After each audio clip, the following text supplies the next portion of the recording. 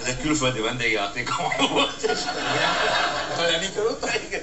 és egy 1800 láttam, hogy ilyen 800 fog nélküli kurva ott állt, és azt mondta, hogy jött egy ilyen részek persze, gyere kicsim, jó meleg az öllem, azt mondta a pali, süssél benne gezt.